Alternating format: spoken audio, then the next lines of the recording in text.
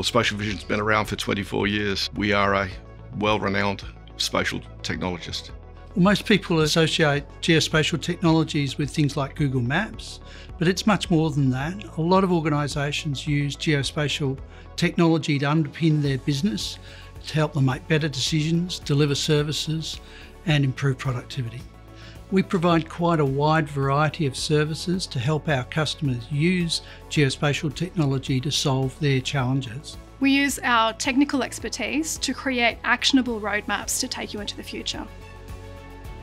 Spatial Vision is a diverse organisation with staff with a lot of different skills and backgrounds. And we believe that diversity adds significantly to the quality of service we can offer and ultimately the value of our services for our customers. The team of Spatial Vision is motivated by technologies. They love applying the latest and greatest technologies to our customers' solutions. They're also motivated by the domains that we work in. We, we love making a difference to our clients, for our clients, to the world.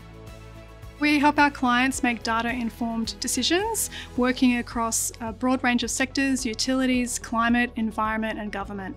We've been delivering solutions into the fisheries domain, into biosecurity and biodiversity, as well as women's health. But one of the most important areas is in the area of sustainable development and climate change, an area that is of growing importance to both our staff but also our customers and their stakeholders.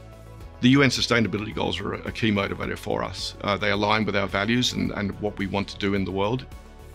Spatial Vision will be working in some very interesting technologies that are emerging. These include smart cities, intelligent transport, Earth observation, and of course AI. It's going to see us working in some very interesting projects in the future. If you want to have a conversation with us, visit our website, give us a call, and we'll be more than happy to have a chat with you.